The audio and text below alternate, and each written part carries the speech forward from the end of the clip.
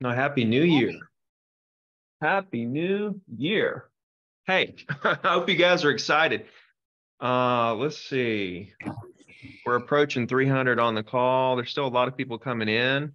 Put in the chat where you're at, where you're from, if you're excited about 2023. Yes. I gotta say, this is the most excited I've been in a long, long time. Guys, boom. See, now we're approaching 400.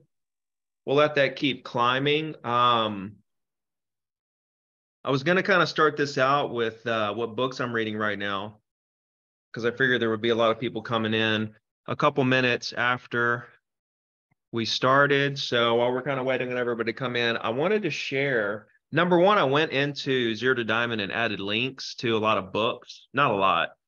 Um, the books I'm reading right now, and also the ones I suggest. If you haven't, guys, if you if you haven't um you know, read the books that I always suggest, which is The Slight Edge, which is here, Jeff Olson. This is my number one book all time. And uh, of course, my book, List to Last. Um, but I added a couple of new ones there. Some I read last year, some um, that I'm reading right now. Okay. So one of my new favorites is this one right here, Pitch Anything. This is the one I'm having my my team read. Uh, we do a book every month. Um, this is an amazing book. Honestly, I'm I'm I'm inspired and I'm just soaking up so much out of this. Um, Pitch Anything by Oren Klaff. I highly suggest this. I'd love to read it kind of as a group. If you guys are looking for a book to read in January, you're going to read a book, pitch anything um, that this is one of my new faves that I'm going to start recommending. Still a lot of people coming in. We're approaching 500. I haven't read this yet, but I've heard all about it. It's called Building a Story Brand. This is about clarify your message so customers will listen. I'm really excited about this. And I think this is something everybody needs because um, it, it's clarifying your message so customers will listen. Okay. And that that's what you need in your business, right? You, you need to be able to build your story. Everybody has a unique story, and you need to be able to build that story in a way that your customers will listen. I haven't read this one yet. This is going to be my second book of the year. I'm starting out with Pitch Anything, which I'm halfway through and blown away. And then I'm going to move right over to Story Brand. Okay. Um, I linked a couple in the 60 day challenge, but Elevate is a really short book by Robert Glazer. I love this book. It's really short, easy to read, super inspiring, really good stuff. And another one that's a little longer, but is incredible is Outliers by Malcolm Gladwell. Wow. I mean, wow. That one will really open your eyes up to some stuff. All right. So again, I was just wasting a little time for people to come in, throwing you guys some value right off the bat. Still people pouring in. Let me know where you guys are at. Let me check the comments. Getting close to 500. Let's see, where's the chat? Chat. Oh, good morning. Good morning. Okay, everybody's saying where they're from, but are you excited? are you are you excited? Um, today I'm going to go through just a couple of graphs and some market statistics and stuff, just to kind of help you guys understand why I think the way I think about the next six months of the market. Um, and so I, you know, if you haven't seen this information already, it's going to be super beneficial to kind of help you put things into perspective. But remember, guys, you know, whenever I throw out these predictions and stuff, it it literally means nothing. And the cool thing about what I do is I try to put you. I don't try. I do. I mean, the the reason I say try is because I don't know if you're going to execute or not. That's up to you. I can't, you know, do the work for you. But if, but at least I can go to sleep at night knowing that I did my part to put you in a position where you win either way. You know, if you go out there and build your business the way that I'm telling you to build your business, there's no way that nothing happens. No, there's no scenario where you lose. You just win, win, win. That's all. The predict the predictions don't mean anything. But it's cool to kind of see what the trend is, where we feel like the market is heading, and where the opportunities might be. Because that that is a that is how you um, blow past your competition, let's say. Right. Because you guys know, like for me, competition doesn't exist. Yeah. So, so, but let's take that out of the equation for just a second. A lot of us want to be number one agents in our MLS, the number one agent in your entire market. And so that's where you can take things to another level is when you start to pay attention to actual market trends and try to be ahead of the curve on a lot of this stuff instead of just kind of reacting, you know, to the market as it happens, you're in a position where, okay, there's a good chance this is going to happen. So here's how I'm going to develop my business plan. Right. And and the the small chance that what I'm saying doesn't happen, it's okay because within my execution, I win no matter what. But if it hits big, then we I could literally propel myself to the very top of the market. If that makes sense. Still people coming in. We're approaching 600. I'm just going to dive in here. So first off, um, you know, I don't know if you guys are doing this or not, but you know, our group and I would say everyone is doing the 60 day challenge right now, especially if you've never been a part of the 60 day challenge. Right. So let me take you there. You're going to go to zero to diamond.com and when you log in, boom, here we are. It's a news feed. This is a social media platform where you post, you can friend and follow people on this platform. There's over 18,000, approaching 19,000 members uh, on this platform as we speak. This thing super lags whenever whenever I'm live. but you can create groups. Um, you can go to the different groups of your area or the weekly email group, and all this stuff. Okay, this is where you can see all the members. You can search members. If you're looking for a specific ZTD member, you've got a referral in a different state, go right here and search them. You can search the city, state, whatever, and search a ZTD member, and then you can message them right on the platform, right? Or it has their information there. You can reach out to them. Um, so that guys use this platform to collaborate with each other and it's going to do nothing but grow. Um, 100 or so agents are joining a day, and we're this close. We've been working on it for 12 months, but we're this close to uh, to, to launching an app that'll be on you know iOS and Android for you guys to download, and it'll be right there as an application versus just a website. So it's been a grueling process to try to make this an application. All right. Um, but we're almost there. You'll have your news feed, members, groups, uh, courses, and events. So let's move over to courses real quick. And I just want to kind of blow through this really quickly for those that aren't familiar. And then I want to move on to the market stats. So I'm going to give you guys some uh, some data, some charts, and some opinions. Let me see. Mute. Boom. Ah, this thing is super lag whenever I'm screen sharing.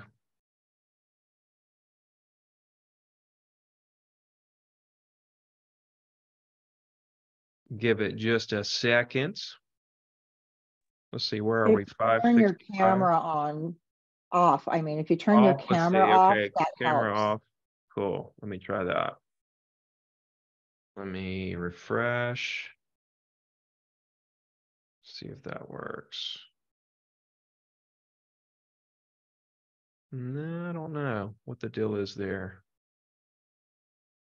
Let me open it up one more time. If that doesn't work, I'll move right into the market stats, which are just pictures on my computer. It's not a website, so don't have to worry about it.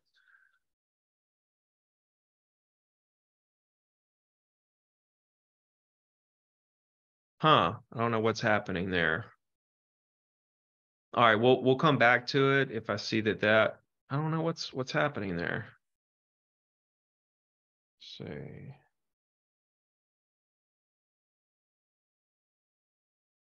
I'm gonna bring my picture back. Hmm, we'll see. I'll keep an eye on that. All right, so I'm going to dive into this these market stats with you um, and kind of walk you through this. You can kind of see what's happening in the market, and I definitely want to take some questions. And if you guys have anything on your mind or anything you want to add to the conversation, I definitely want to give you that opportunity here in just a second as we approach 600 on the Zoom call. Um, so you got if you've been paying attention to my content, I guess you you you should know exactly how I feel about where we're going uh, in the market. The market is 100% normalizing. We're entering into a, what is a normal market, which is four and a half to five million sales, um, where it's a pretty balanced market between buyers and sellers. We'll see how prices perform this year. Um, you know, I, I, think we'll be up, honestly. We'll, we'll see um, somewhere around close to flat. But what's interesting is this. I'm gonna I'm gonna work through these uh, these pictures. So this is inflation. This is this is inflation, right? This this pink faded line, and then this darker line is mortgage rates, right? Incredibly correlated, incredibly correlated. And you see how inflation dipped down there towards the end, and so did 30 year fixed. And I can't think of a guru, there's not a guru on earth that doesn't say that um, inflation is going down this year. And so, I mean, it doesn't take a rocket science to realize that as inflation does ease down, so will 30 year fixed. Listen, back to my point. It doesn't matter. It doesn't matter if rates go to 10% right now, guys. Please understand that. That it doesn't matter if rates go to 15%, doesn't matter. That doesn't matter, right? It, it how the market would react to a 10 to 15 percent 30 year fixed um, would be an opportunity for you because if that happened, honestly, prices would definitely crash, right? If that happened, that would be a moment that prices definitely crashed. And think about how easy it would be to sell properties for half price, 40% lower, 30% lower oh, there'll be less buyers. Dude, that's true.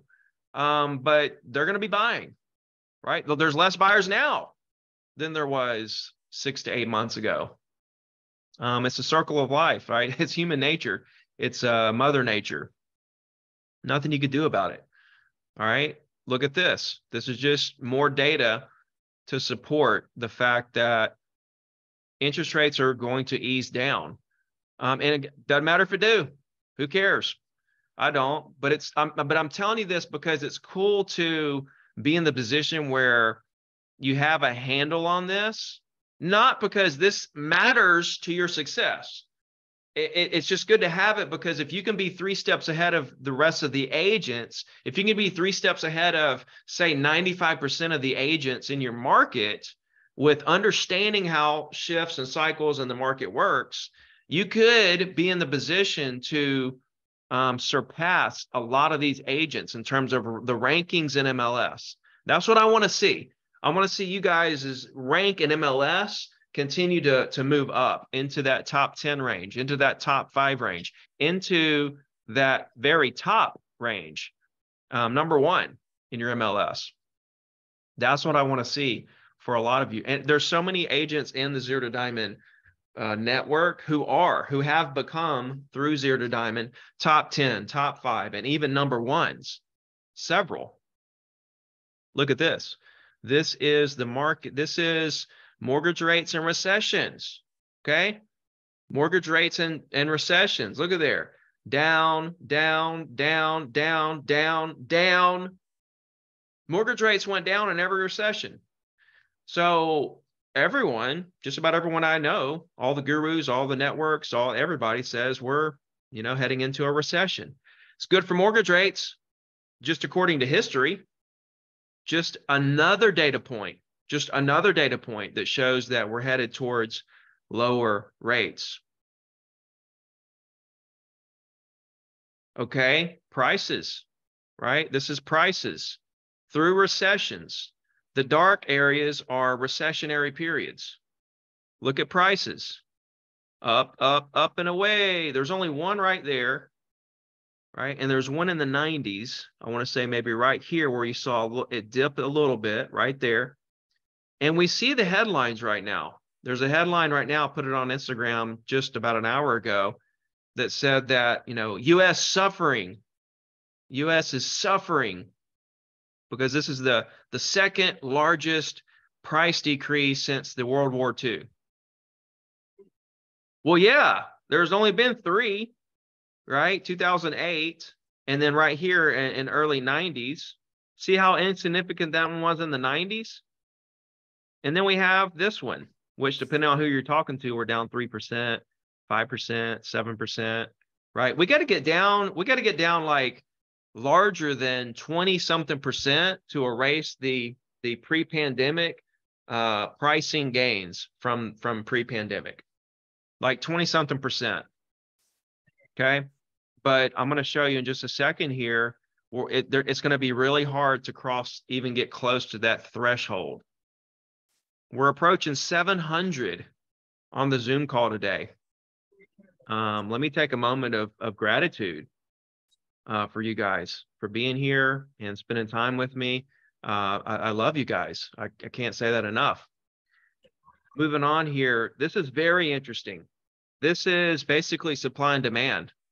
The orange is new new builds, uh, you know, completions of new builds, and the blue there is demand, right? Um, and so you see back in 04, 05, 06. And when you get into 06, 07, 08, look how much more supply, the orange line, than we had of demand, the blue. Look at that. Look at the gap. You come to today, you come into today's market, and you see we have way more demand than we have supply. Right? Demand is almost up there with 2004 or 5. Not quite. Not quite but it's up there. Um, but look at look at supply. Right? It's it's ridiculously out of whack. And that's what's going to that listen guys, this is what's preventing us from going into a huge pricing um, crash. Right? If we had an oversupply right now, we would be hurting right now. It's not the case. And when I say hurting, I'm just saying prices coming down. I'm not talking about your business would be hurting. Please understand that if that happened and prices came down, we had a pricing crash, you would crush it. Just to make things clear to you.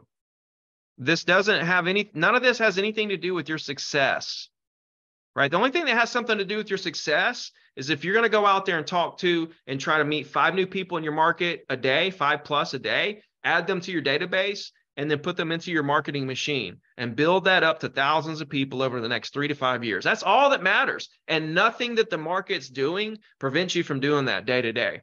It could be the most depressing market in the world. You're going to go out there and talk to people and get to know them and add them to your database, see what you can do to help them. We got to quit going after listings, guys, right? And you got to think, I'm going after people when I talk to a prospect, I'm not trying to, I've had this conversation like three or four times in the past couple days with in the in my in my DMs with people talking about, you know, expired listings or for sale bounders and stuff like that. And I'm like, listen, I I'm not trying to list that house. And that's why that's why I all the expired, not all, a lot of expireds I did business with, they bought something from me. Every single time I call expireds, it seems like every single time I run into a builder or a developer and like they want to do business with me. And I think most agents wouldn't even find out that that person was a builder or developer because they're so focused on trying to list that expired that they don't even have like a conversation with the person to try to dig deeper into what they have going on and what you can do to help them and stuff like that. They just kind of are so focused on just getting the listing and I'm I'm quite the opposite. I'm trying to use the listing as an excuse to call them with every situation. I just want to talk to someone and get inside their head. and allow them to open up to me. I want to create a safe place for them to open up about what they're trying to do. So we need to start going after people versus, uh, you know, listings. Now, this is where things get super interesting, right? This is my favorite part right here. If you look at, uh, you know, inventory, right?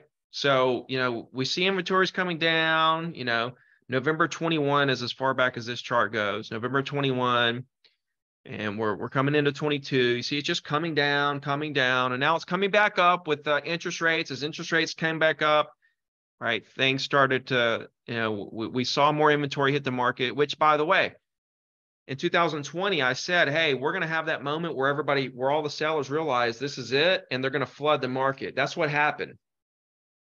They flooded the market, overpricing listings because they were dreaming. They were thinking that it was still 2021, but it wasn't. And we saw that influx of listings that were overpriced. And then, um, you know, things started to level out as people realized they weren't going to sell it for last year's prices. And uh, then they either had to lower their price or take it off the market, basically. And so now we're getting to where we've got some pretty good inventory out there you know, but inventories come back down. You guys see right here in August, it peaked. Right? In August, it peaked. And now we're down from that point. Now you see this wave like, uh, you know, shape. All right, now look at this. This is going to blow your mind if you haven't seen this. Okay, look at every year. Now, this is every year. You see how it goes up? It like shoots to the moon. Like it's almost like straight up. And then guess what? Straight down, plummets. Right? Same thing the next year. Straight up plummets, straight up plummets all the way. Every year, straight up plummets, straight up plummets, even in the year, even in these years, 2020 and 21, the years of low inventory. Inventory still shot up like a rocket. This is this is what people don't want to talk about right here. This is what this is what the media, this is what people don't want to acknowledge. Real data. They don't want to acknowledge real data. Every year it shoots up and plummets. Now look at where we are here. It shot up, right? And it shot up a little more than normal. It shot up about level actually with last year's peak. See that? Level. And now what? See the trend? coming down. Every single year, it shoots up and plummets this time of year. And we're already in the cycle right now of it downtrending. And you probably, you guys are probably already seen, um, you guys have probably seen that in your markets with inventory coming down. I know I have. Uh, inventory is getting tighter. It's not getting looser, it's getting tighter. Yeah, we've seen an influx. That was sellers, that was unrealistic sellers flooding the market, trying to catch that last little bit of the, the tidal wave of the market surge, try to get that high price. Honestly, sellers who didn't even care to sell, they just would sell if, right? You guys know the sellers. I would sell if. Th- those, those sellers aren't serious right now. They could change their mind tomorrow, but they're not serious right now. Sometimes they turn into a deal and I'll list them all day long, but I know who I'm dealing with. I'm dealing with somebody who's not necessarily motivated. But this is what we're looking at. We're looking at we're looking at inventory coming down right now, plummeting. Now, think about it. Inventory, just historically speaking, hey, who know this could be this could be a uh this could be an off year. Inventory could go up. I'm just throwing that disclaimer out there. Interest rates could go up. I'm throwing that out there. Inflation could go up. I don't know what's going to happen, but based on the trends, based on history, based on everything that we're seeing right here,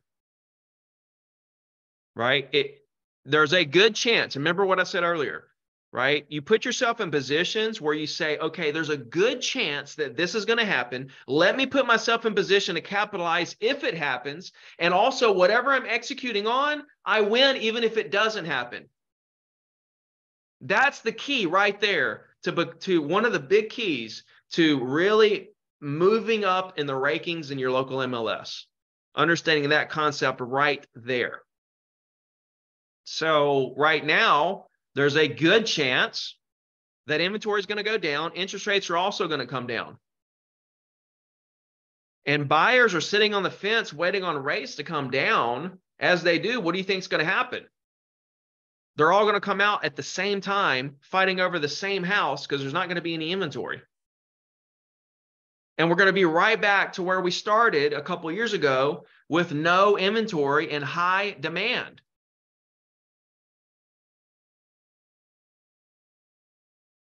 This is an illustration of inventory, you know, the inventory story. This is the inventory story. Um, this you know, the peak was 2007. Here we are, 2022. All right, about a third of the inventory with 50 million more people in the U in the US, 30 to 50 million, whatever the number that the population has grown since 2007. We have tens of millions of more people and a third of the inventory. Sounds like a problem right? And if you look at it only based on active listings, so the 1.2 million is all of them, including pendings. You take the pendings out, we got 750,000 listings in a country of 330 million people. And we're half of what we were. Listen, half right now, we're half of where we were pre pandemic or in, well, yeah, pre pandemic, 2017, 18, 19, we're half and it's and just based on history every year, inventory is about to go down and get worse. What? Do what? So I don't know if you guys have seen all this or thought about this in this way. And of course, this is so general because it's the entire country. Your market is so localized. Do not do not share general information with your clients on your weekly emails share with them local information, please. Go into your MLS, create the data on your own. I can I can show you really quickly how I do that. I'll do that right now. Let me get through these slides and I'll hop into my MLS and I'll just show you really quickly. Just a quick little, you know, synopsis of what I do there. But you need to share and talk about local data, please. The generic stuff is not is not you know helps a little, but until you're giving them really specific local information, uh, it's hard it's hard to get them to listen and to really think, oh, this this agent is really going above and beyond, right? They're giving me the real stuff, stuff I want to know about. Look at the foreclosure activity from 2010, which was the peak, to now. Okay. We're not fixing to see a wave of foreclosures, ladies and gentlemen. It's not going to happen. And one reason is this right here equity. Equity. The average equity in homes is 58%. That's ridiculous. And if prices remain flat, we're still looking at 58%. If they even if they go down a little, we're still looking at what 50%, 40% prices have to go down below what somebody owes on their house to start short the short sale process. And then they have to get into trouble. So a lot of things have to happen for there to be like a ton of short sales. Um, and, and i think the same goes for foreclosures getting close to 700 in the zoom okay let me let me move over to mls well oh we might hit we may run into a problem with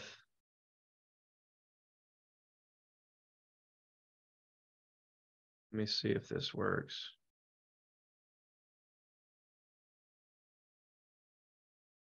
Okay, MLS is working.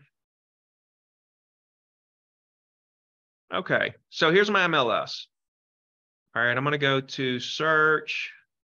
All right, so I'll just do like a, a quick little something something here. Okay, let's see. Let's just do like uh, closed. So I can pull pendings, actives. Like there's so much data right there in your MLS. Let's do close. Let's do condos. All right, let's do uh let's do all of last year, let's just say. Okay, I'm just throwing this in here just to really quickly to just show you guys how easy it is to do this. And even if your MLS doesn't do some of this stuff, um, you know, automatically, which it should. Okay, right here, I have all the condos that closed last year. All right. Um, so I can put these in alphabetical order according to complex there.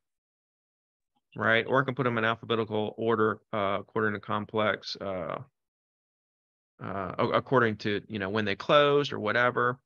But right here, this data right here is very interesting. Right here. And you guys probably can't see this. I'm to try to zoom in a little. Let's see. Uh, let's see. Okay, that's pretty good. Um, you can see that there were 2,200 that closed. Uh, days on the market, the average was 35 days. Um, uh, you know, the the the high listing price was three million. The the sold price, well, the, the high sold price was three million. Uh, the low was 32,000. The average, so I've got the average, then I have the median, then I have total. That's all incredible data right there. And what I can do is go back and search. If I go right here and I just go back to criteria and I change my dates, I don't touch anything. I just change my dates. Um, right there. Then I then I'm looking at last year's data.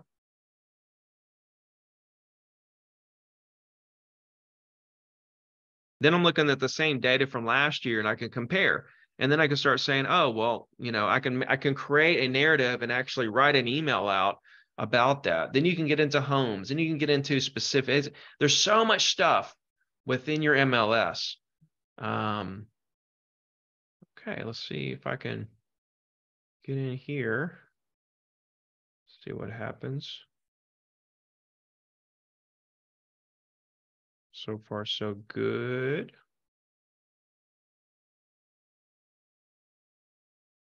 Uh, it's, I bet it, no, here we go. Okay, so I added all these courses, circle prospecting to 100 deals a year, crush it on social media for real estate agents, new real estate agents. Of course, we have the 60 day challenge. I made a course just for my scripts, so they're easy to find. Start your weekly email.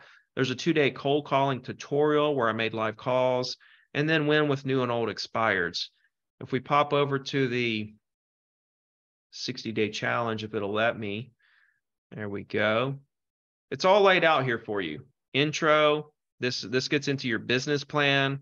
Um, you know, there's the video if you guys didn't see that live where I went through the business plan. You can download the the workbook right here to, you know, map out how much you want to make, how many transactions you need to to close.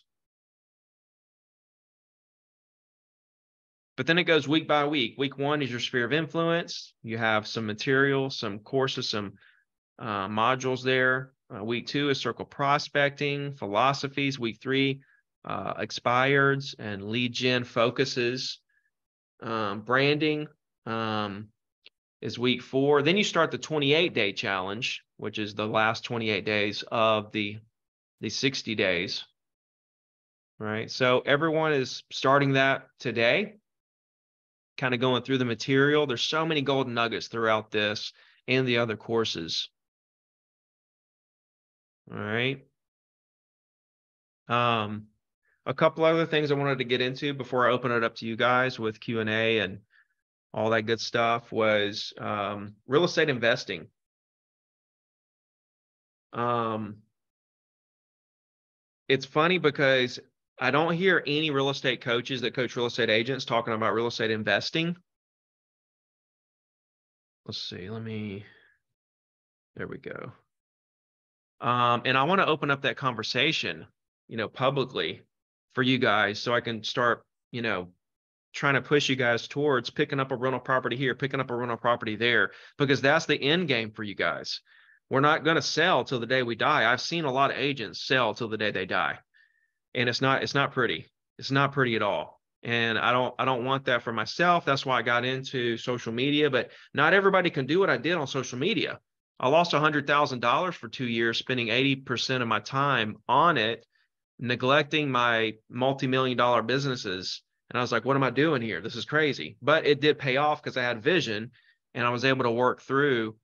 Um, I was able to work through that pain, let's just say, to get to the point where I'm now, where I have really good momentum. I'm actually making money on that side of it. Uh, but not everybody can do that. But what is practical, right, for a real estate agent? What is practical for every real estate agent to be the end game where you can step out of sales? Okay. If you want to go con- the content route, you know, become a influencer and, you know, do, I'm more than happy to help you do it. It's just, I think one out of a thousand people can actually accomplish that. But I think a thousand out of a thousand can go buy rental properties and build a rental portfolio um, and then you know be in a position to step out of sales you know 10 15 years down the road now what's interesting and i just want to say this on on you know as far as getting into your first rental a lot of people look at their first rental and say oh well i'm only going to make $200 a month no you're going to make $200 a month but you're also paying the debt down you're also getting depreciation to write off on your taxes and you're getting any appreciation that that property produces over the next 10, 15, 20 years, 30 years, 40 years. You can pass that along to your family. This is generational wealth we're talking about. And most real estate agents aren't even thinking about this. You're not even thinking about end game. We need to think about the end game now.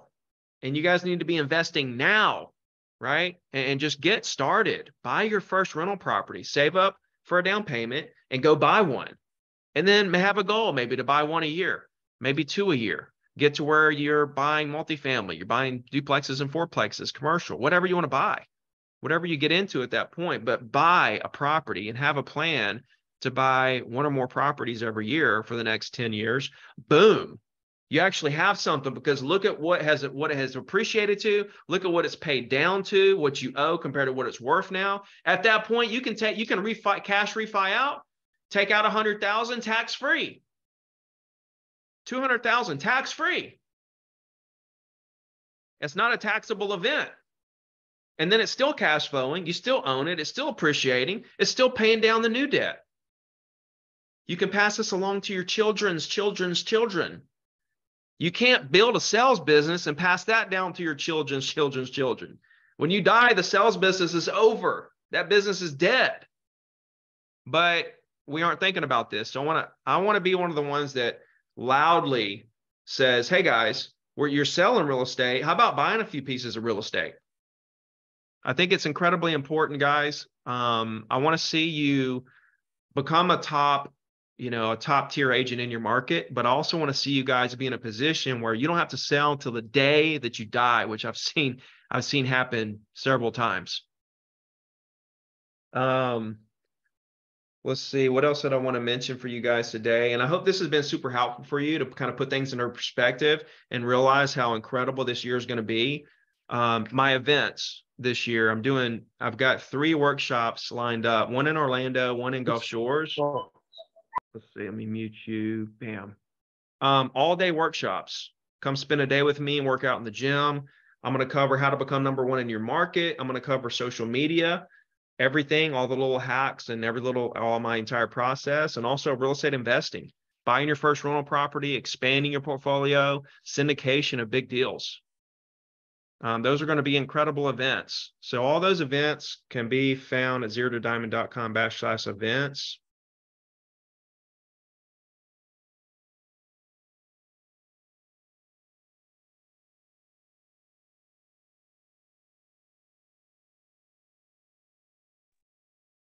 You're muted.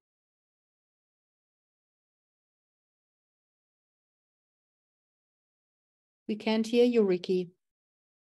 Yeah, we lost you, buddy. How about now? Yeah, now Yeah, we we got you back. Good. Okay, good. I just Back. I'm I wasn't muted. I just muted and unmuted. And now I'm back. It's anyway. It's called, it's called Zoom. Yeah, Zoom. I love Zoom. Hey, it's better than most of them. I'll tell you that. I was on a couple of them last week, and it's like, geez, man, this technology is something else. But um, yeah, I'm gonna be in Vegas next week at Ryan Pineda's event. I would love to see any of you guys there. Uh, I'm going to be in Long Island, the Orlando event, Gulf Shores. I'm putting one together in Chicago. Um, so moving around a lot, trying to do a workshop somewhere in the country every month for you guys. So um, trying to think if there's anything else. I mean, listen, I, I could get into a lot of specific stuff that you guys should be thinking about and doing, but everything's right there in the 60 days. Everything's right there in the, in the courses on Zero to Diamond. And guess what? It's all 100% free. So you can go there and I've poured everything I could out of my brain into those courses for you to go and just soak up all those golden nuggets and kind of use them to mold your own business and mold your own processes and mold your own systems to go out there and scale. So I don't want to make this a full like training, um, teaching you all the micro details of everything. That's what's going to be on Zero to Diamond, or that's what's going to be at my workshops. What I wanted to do today was say, hey, read some books, right? Understand the market is going to be incredible and that it has nothing to do with your success anyway to go out there and create five new friends a day, put them in your weekly email system, and go crush it over the next three to five and buy a bunch of rental properties. That's really all I wanted to say today. So I'll open it up to you guys if you have any questions. Put your hand up on Zoom if you do want to ask a question or or speak, and I'm um, happy to to bring you in. Go ahead, Stacy.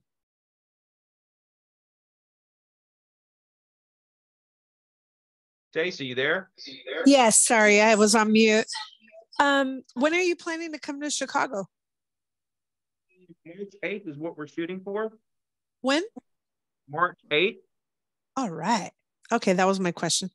we're over here. It's not 100%. I mean, it's pretty much 100%, but um we're still finalizing everything, so I haven't been awesome. able to like send out a link. Awesome. Thank but, you. Um, yeah. Cool. Um, Praga. Hey, Ricky. First hey. of all, thank you for having all of us here. It's a wonderful meeting. Um, always look forward to you. Uh, you're on mute now. You muted yourself.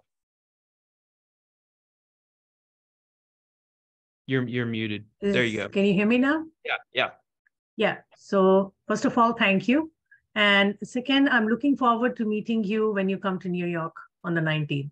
Yeah. Very excited. It's going to be a really good event. It's going to be a yeah, really I'm looking forward event. to that. And yeah. um, I want to get into uh, investing. Um, and I want to learn how to invest in rental properties without investing a lot of money from my own pocket, like how to do that. Well, I think the first thing is is to actually buy some properties with your own money first. Okay. Um, because you don't want to take somebody else's money when you're inexperienced and go lose that money, right? Or get in a bad situation, right? You don't want to manage other people's money when you don't know how to manage your own money. So okay. you really need to get in there and kind of own some of your own properties first. There's there's creative ways to um, to go out there. You should talk to your lender and and look okay. for creative ways to get in for low down payments. Um, mm-hmm. you know, and, good deals on the uh, you know, on on the the loan the loan product that you use. Talk to you know three or four or five different bankers and lenders and loan officers and LOs and try to find really good you know a fit for you as far as what type of loan package that you use. But listen, um, when I bought my first rental, I saved up you know for a down payment and I bought my first rental myself you know, did it again. I, you know, bought that one. Then I saved up money for my second one. Then I saved up money for my third right um okay. so when, when, you know these people that go out and they um they you know they're putting no money down and all this stuff um they're you know they're they're they're taking investors on and they're raising money you know maybe from an aunt or an uncle or you know a colleague or something like that um you know i i was never comfortable with that um you know, until I became experienced enough that I felt like I really could take someone's money and go multiply it for them, which I, at this point, am, you know, very confident in my ability to take other people's money and go multiply it for them. But if you're not to that level, then I don't suggest doing that. Okay, go you. Yeah, It's okay. thank you. Listen, listen. You know why people No, no, it's, it's bu- important to hear from you. It's very important to hear from you because I'm hearing with so many different people talking about investment that you can invest and buy property even if you don't have a penny in your pocket. Yeah. So how do Yeah. you do that? There has to be some catch. There has to be You're- something. Yeah. You're taking money from other people and going and investing it and hoping that you can find a return. And, you know, you should do some deals on your own first, you know? Um, I'm going to be doing like this year, I'm going out to buy hundred million dollars worth of apartment complexes, right? I'm going to be syndicating those deals where a lot of you guys can actually invest with me in those properties.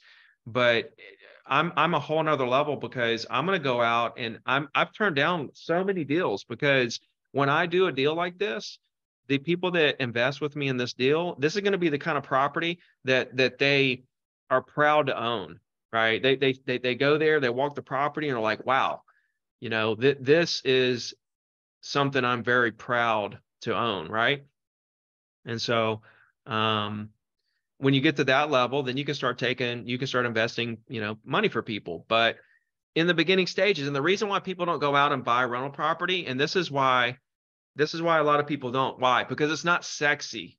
If you buy a rental house and you're making $200, like I said earlier, a, a month, you're like, oh, all this work for $200. No, appreciation, depreciation, uh, principal, uh, you know, payoff, you know, and the 200. Um, you know, even if you break, even if you go negative a year because the AC went out and you spend your all your profit on AC, you're still ahead, big time right? It's monopoly, ladies and gentlemen, right? It's just like monopoly. The more properties you own, the more prime properties you own, then the better off you're going to be. But this is a slow, this is how you get rich slow, ladies and gentlemen. And so it's not sexy, it's not fast, it's not overnight. And so that's why a lot of people kind of put it on the back burner. But I'm telling you, you need to start right now, right? You need to start right now. And, and this is how you start. You save up money for a down payment and you go buy your first one on your own. You buy a small property. The first one I bought was $68,000. And now I, I still own it. It's paid off. It's worth over 200 and I rent it for a thousand bucks a month. It's a one bedroom. I lived there for two years before I moved on to another rental property. Right? Good stuff. Good stuff. Uh, good question. Um, Mumstez? Mumtez? Yes. Hi, Ricky. Thank you so much. I have three questions, if you're okay with that, please. Your your session in uh, I think it's Alabama on the February. Mhm. Uh, do you do hands-on social media, or how does that work? Do I I'm do what? Canada. I'm from Canada, by the way. Do you do hands-on social media, or how does your workshops work? Hands? Oh, hands Hands-on. hands on for social media? Yeah, is that what you said? Hands on for social Yes. media?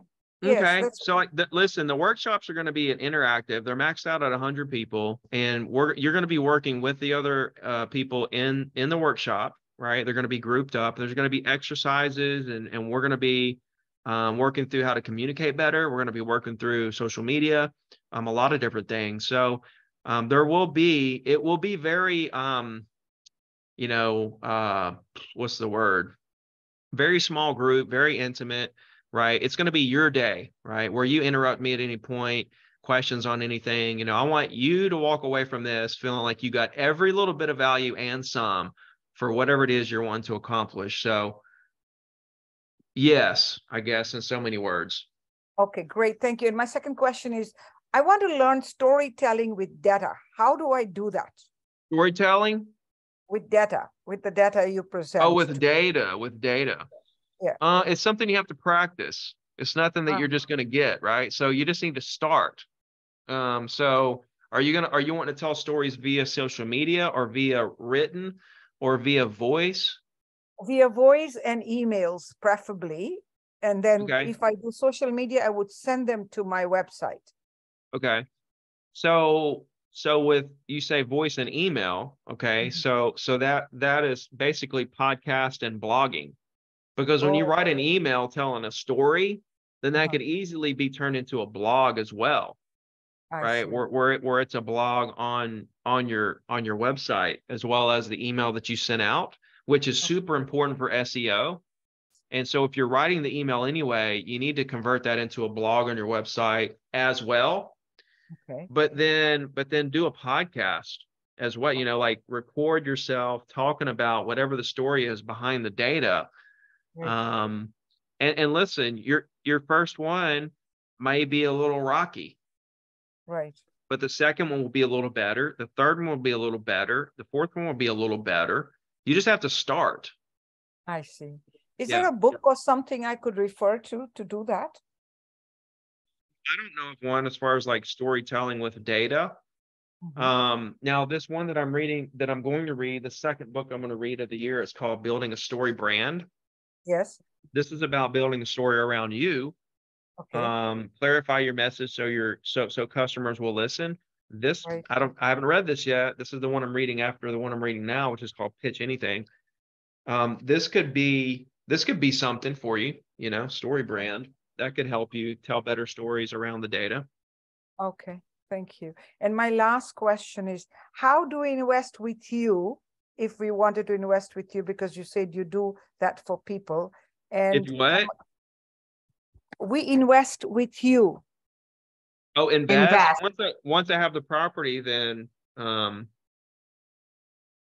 stay tuned. I haven't I haven't I haven't found a property yet that I want that I want to um that I want to, you know, um give you guys the opportunity to invest with me on. And and I'm a Canadian. Can I do that? Because you're American. I'm Canadian. Is it possible to do that? You absolutely can. Okay, great. Well, I'd be interested in that. Okay. Because I invest in Toronto myself. I have rental properties, uh, mainly condos, but not um, apartment buildings. But I would Yeah. like to do something with you if that's possible. It's hundred percent possible. Thank you. Thank you So so just- much for everything. Absolutely. Um, somebody just said what the address of the Alabama event. It's going to be at the clubhouse of Craft Farms Golf Course. Okay, Gulf Shores is really small, so it's not like you know I'm going to do it in LA and it could be like an hour away. Gulf Shores is literally like 10 minutes from one side to the next, so um, you don't have to worry about if you're in Gulf Shores or Orange Beach, you're close enough. Let's see. Okay, guys, I'm seeing um, questions about the events. Go to zero to diamond.com backslash events. That'll tell you everything about the events. great. Tony, Thank, thank you you're so wel- much. You're so welcome. Hey, Ricky. Uh, first, I want to thank you for your content. Uh, I started taking listings that um, I guess are too high, I guess. Uh, and I just got one uh, by owner last week because I was just willing to list it and figure it out as it goes. Uh, but uh, as far as a question, I plan on moving markets. So I was just curious, like what your what you would do if you were to move from like Gulf Shores to let's just say like Chicago or so just anywhere, I guess. What you would do in my shoes, I guess. And well, how far are you moving away? Probably San Antonio from Cedar Rapids, Iowa. And why are you moving? Um, long story short, family issues. Nothing on my end. Just I need So a fresh, just- I need a fresh start. So it's just something you have to do, basically. Yeah. Yep. Because my first advice, where I was going with that is, is if you don't have to, don't do it. Right? Yeah, if you, if you don't have to, have to, yeah, if you don't have to, have to, don't do it because starting over, you're basically a new agent again. Right. Yep. you know, it takes agents normally six months to get to their first deal. Same thing is going to be for you in the new market. I don't care how great of an agent you are. It's going to take you about six months to get to your first deal in the new market. You're new again. You're going to be brand new. You're all the momentum that you built is lost, and you're going to have to start over from scratch to build that brand, build your name, get to know people, learn the lay of the land, and really build that infrastructure and foundation so that you can build the type of business you have now. And that's really a lot of work. So I don't wish that on anyone. So you know, step one is, do we really have to? Okay. Next, the next step is if we do really have to have to, the way that I advise people on this is that um, since it does take six months on average to get to that first deal, and and I, you can tell me all day you're going to sell something quicker, but I I've seen it over and over and over again. Um, it that's what it is. Um, and so even if you get a quick deal, it's only going to be one pop. It's not going to be like deals every month.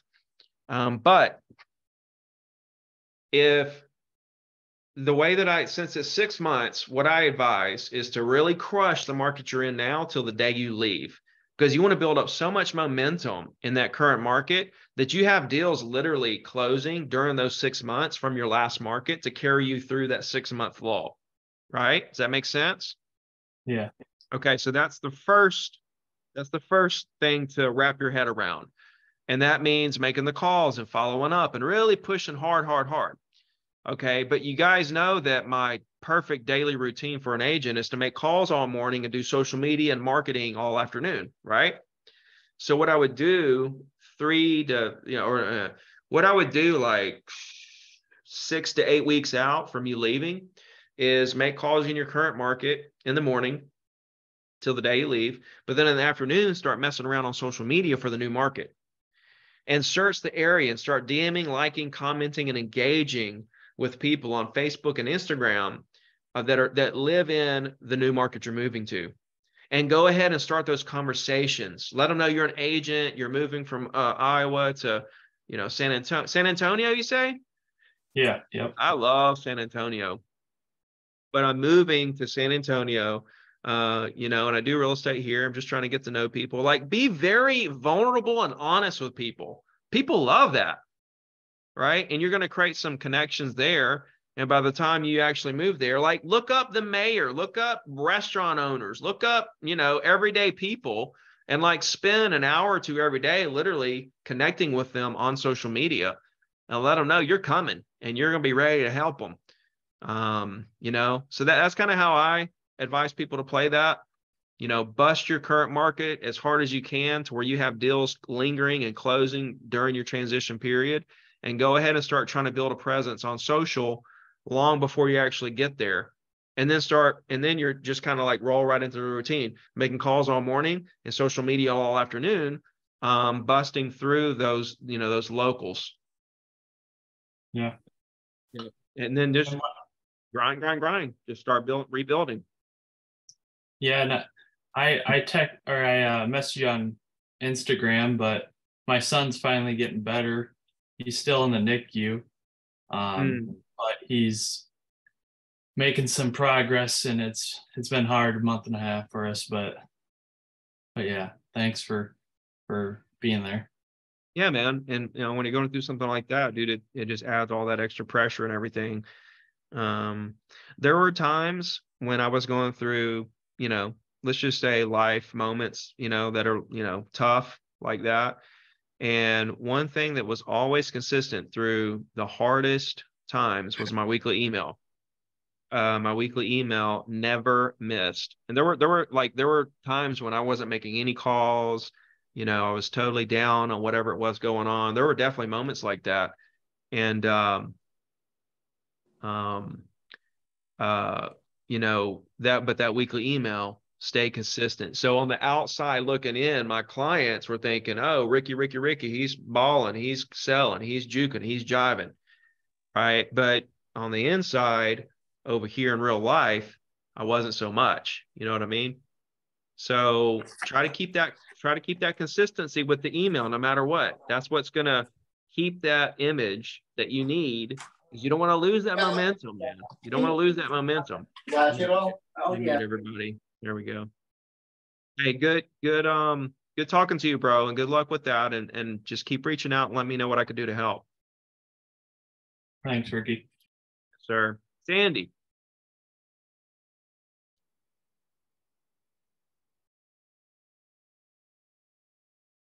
Ron. Hey oh, there, sorry, Ricky. Sandy oh, came. Hey, Sandy. Yeah. Hey, sorry. Um, I have my camera off because I'm driving to an appointment, but I'm fairly new agent, four years in California, and I'm a dual career. So first career is teacher. I'm going to teach for two more years. Um, but I'm really trying to turn up the volume on my business this year. I've, I've done well the last few years, just fear and, and deals that kind of came through my network of friends. Um, but I'm looking to really grow it into a machine. So okay. if I was going to spend $500 a month where would you suggest I spend that to get the most bang for my buck? REDX. Okay.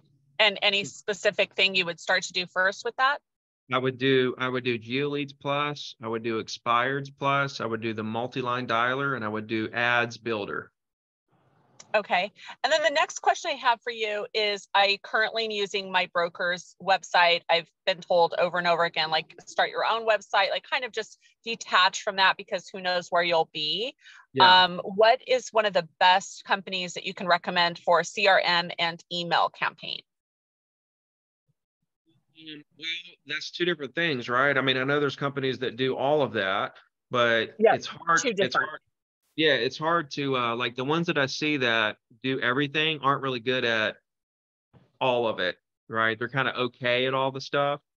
And then, you know, there's people that just specialize in websites that are amazing, people that just specialize in CRMs that are amazing, people that just specialize in uh, email campaigns or whatever that are amazing. Um, and so it's hard to find an all in one, honestly. So, I mean, I use Webinate for my, um, for my custom website. And then I use constant contacts for, to do my weekly email, but I don't do like, I don't know what you mean by email campaigns. Like if, if it's like a, if you're talking about like, like I custom build each email and send it out, you know, that's like my text met, like everything that I do guys, just so you know, I, I'm doing it right. When you see a post on Instagram, I wrote the copy and posted it right then. When you see an email, I wrote it and sent it right then. When you see a text, I wrote it and sent it right then. Replies, all that stuff is me in real time. Um, and so I don't like set up a bunch of emails to go out automatically. Some people have these like 30 day and 60 day and 90 day email campaigns and all that stuff. I don't do that if that's what you're talking about.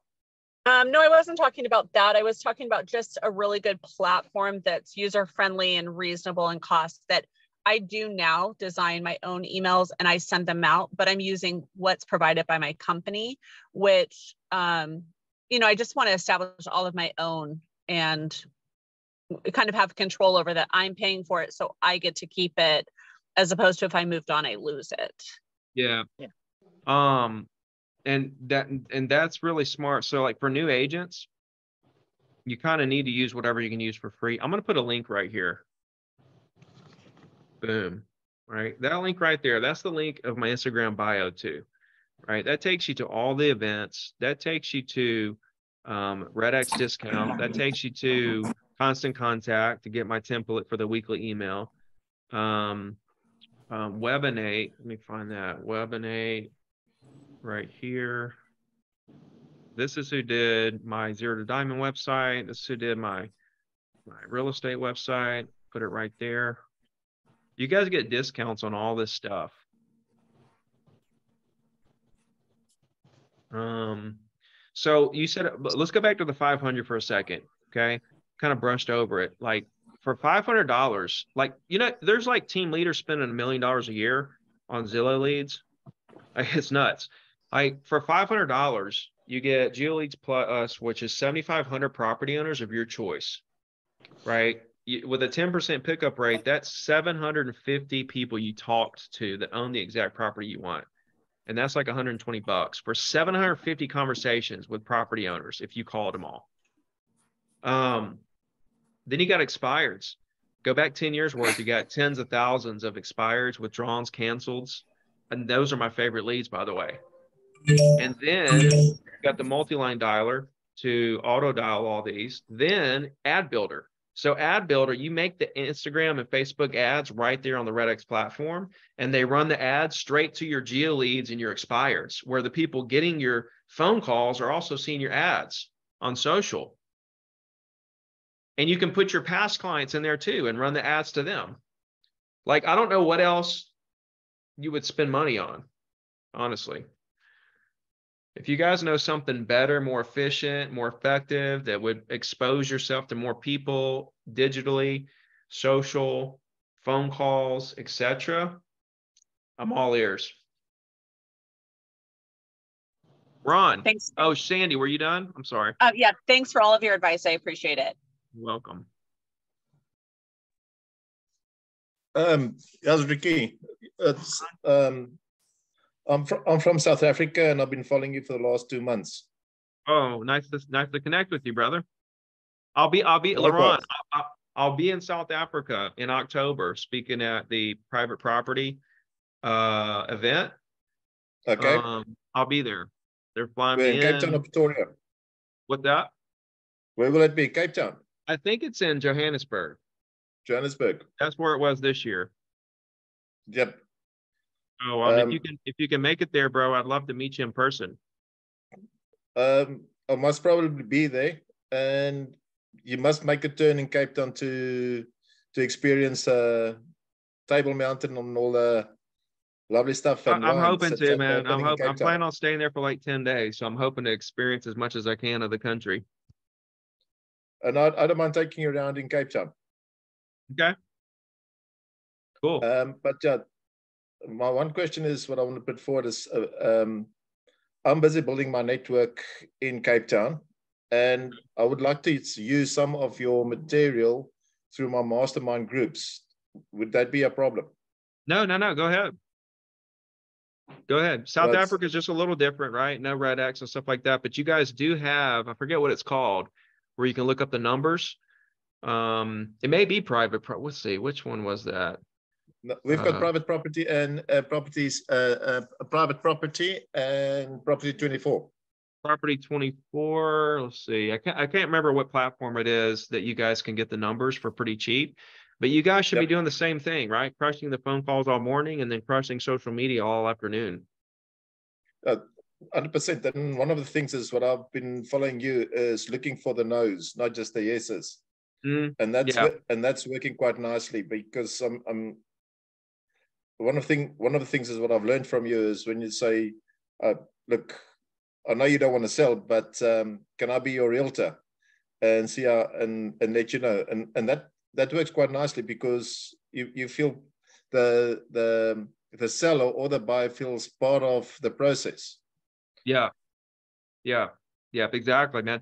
So as I was saying, like in the middle of my little presentation with the charts and the data, we got to quit going after listings and just start going after people. Yep. You know, people. I'm telling you, that's where it's at. That's where that's where it's at, guys. That's when your business really explodes and you start closing so many deals you don't you can hardly keep up. Going after listings, going after listings like actually slows your business down, ladies and gentlemen. And Ricky, you're hundred percent correct. It's like, fences, and I'll just used one of your your ways of working with. Uh, I, I drove past uh, a potential uh, seller's property who's got a penthouse, Mhm. and I said to him, "Is your property still for sale?" He says, "Yeah, but I've listed it with two other agents." I says, "Yeah, but I've I'm looking at the development you're taking, which is on the west coast, and it's a lower income group. I've got an idea I would like to share with you."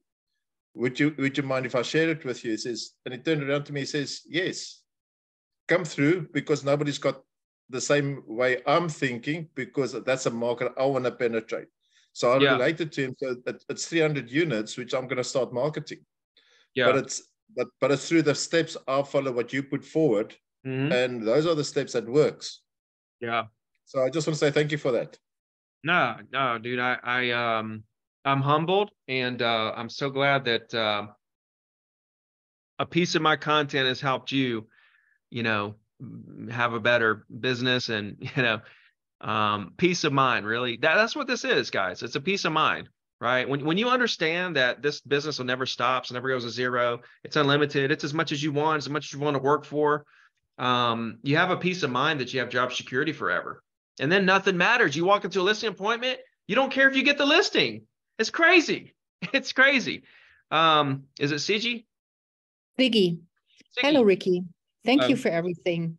I have two questions. So, Okay. first of all, when are you coming to Canada? Uh, I'm trying to put something together. I honestly am. It's um, you know, it's tough, but I'm I honestly am trying to put something together. I, I bet. Thank you very much. Yeah. The second question is maybe a lot of people can relate to. It's my ninth year of real estate. I've been pretty successful. I have systems in place. Um, this is the first time in really nine years that I have no closings in the new year. I have few balls in the in the air, but um, I'm really a bit frightened and Yeah. I'm just feel confused now. If there are two or three things out of everything you recommend you would do now to kind of recharge the business, what would be those two or three things? to do. Well, to I mean, li- listen, I mean, okay, well, there's a lot of things to think about, right? Number one, are our bills taken care of? Yeah. Okay, your, your bills are taken care of, right? I, I have bills, but I've, I've I'm always putting money aside and do those things so my Mhm. bills are taken care of for the next Your month. bills are yeah. fine, right? So you don't have anything to worry about there. Like your bills are fine. So um, the next thing is, is what are we doing day to day? Are we making calls every day?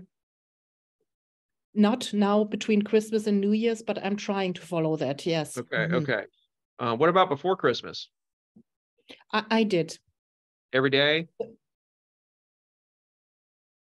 See, so see, like I said, see, yeah. yeah. See, th- th- th- this, is- see, guy, okay. Guys, time goes by, okay? And then we wake up one day and we're either in financial trouble or we're financially well off. One or the other. There's no, there's no, we're in the same place. You're either going to be one or the other. Okay. Now your day to day. Okay. Your day to day looks no different there. All right. So like if you, if you one day made calls, right? Versus if you didn't make calls that day, your business doesn't look any different that day. Okay. So it's real easy not to make calls that day because that, that one call session is not going to change your business. It's not going to be a big difference in your business whatsoever. It could have been that one call that somebody bought, you know, $5 million worth from you, but let's take that off the table. It's not going to be that big of a deal if you miss one call session. Sure. But when you miss a call session, uh, uh, you know, three or four call sessions a week after three or four months, you're going to that, that's when you wake up and you say, man, my business is suffering. I don't have any deals in the works. I don't have any listings. I don't have any prospects. I don't have any hot buyers or sellers.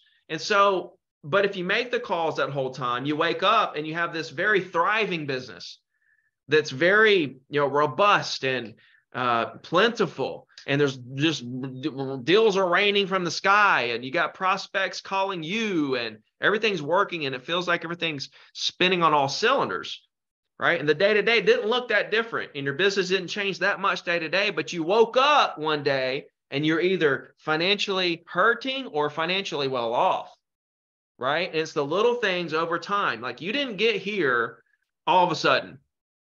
This is a this is a compounded uh, event that that's come from your lack of prospecting, right? Am I right? Yes. That's what it is.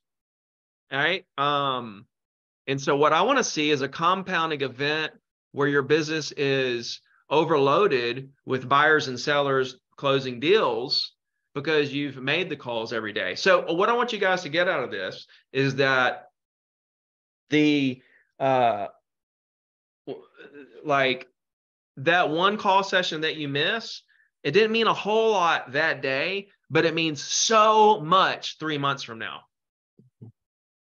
That's the, that's like the punchline. Because if you miss one call session you're going to miss another call session. Then you're going to skip another one. It's like oh no big deal. I, have already skipped three. Let me just skip four. And it just you down spiral and all, and all of a sudden you wake up and you have no business and you're like what happened? Well i quit making calls. That's what happened you know what i mean so you got to get back on that train so this is this is the turning point this is the moment that you can wake up and say you know what every single day matters that I make calls every single day.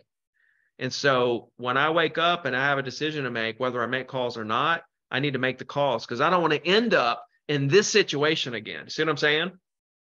And you have to Yes. now, now, now, now you have to regain the momentum, right? And now it's going to take three months of solid calls every day to get to the point where you've got some momentum and feel good about the direction of your business. But if you don't go through that three months of solid calls, or you give up three and a half weeks in or something like that, we're going to be right back where we are now. You know what I mean? Yes. Mhm. Thank you.